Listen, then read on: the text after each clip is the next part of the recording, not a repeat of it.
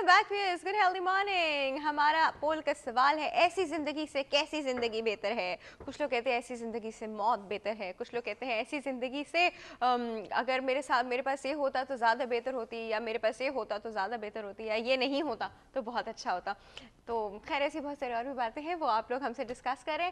Sir, आप बताइए, अगर हम लोग इस तरह नहीं डिवाइडेड होते तो कोई फ़र्क तो नहीं पड़ना था?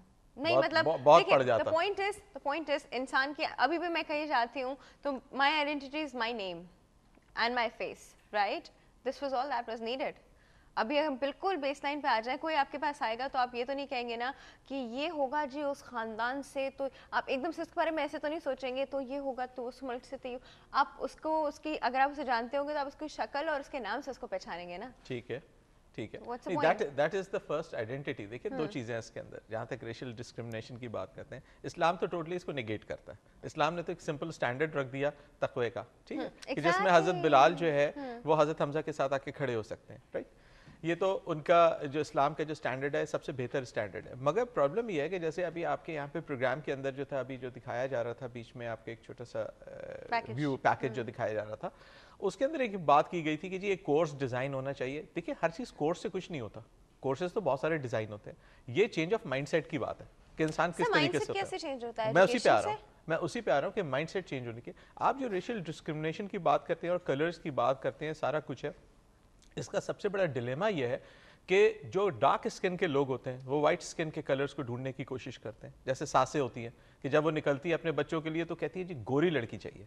ठीक है? दे गो फॉर इट चाहे वो बिल्कुल जो है ना, वो शलजम की तरह फीकी हो, मगर होनी गोरी चाहिए। ठीक है दिस इज़ अच्छा जब हम वहाँ जाते हैं उन रेसिस की तरफ़ जो कॉकेशियंस हैं जो कि सफ़ेद हैं वहाँ पे हम देखते हैं कि वो सन टैन ऑयल लगा के नंग दौड़म पड़े हुए होते हैं बीच के ऊपर वो- काले हो रहे होते हैं।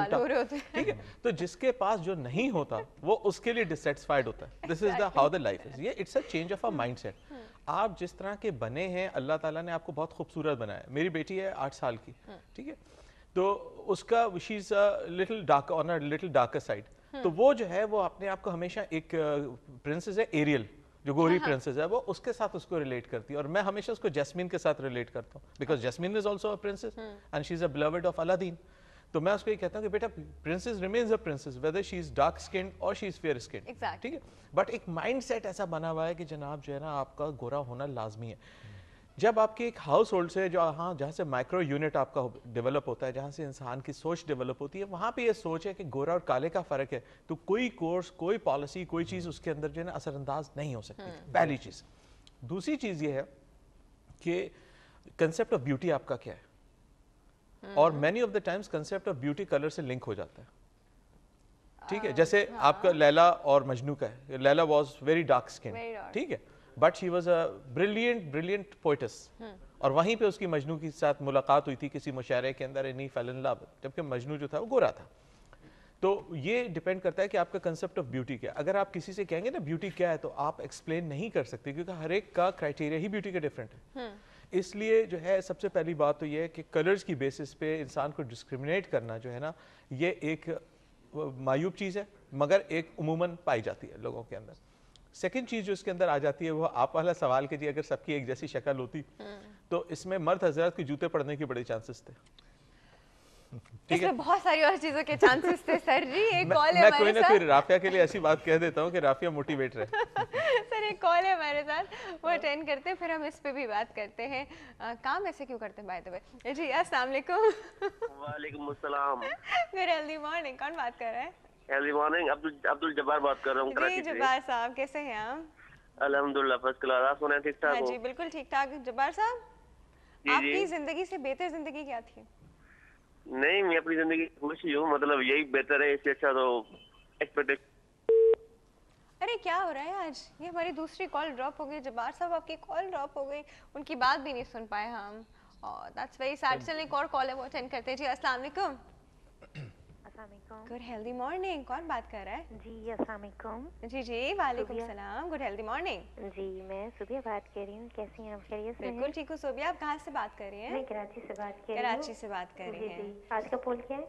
आज आज का पोल है ऐसी ज़िंदगी से कैसी ज़िंदगी बेहतर थी? थोड़ा सा आइडिया देना चाहेंगी आप मतलब मैंने आपकी अपनी ज़िंदगी है आप मुझे बताइए अच्छा, कि आप तो- सोचे कि कौन सी क्या चीज़ आपकी ज़िंदगी में होती तो ज़्यादा अच्छी होती?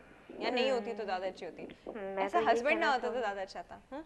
हस्बैंड ना? तो मतलब क्या कहना चाहिए? मैं कह रही हूँ ऐसा हस्बैंड ना होता तो ज़्यादा अच्छी ज़िंदगी नहीं थी।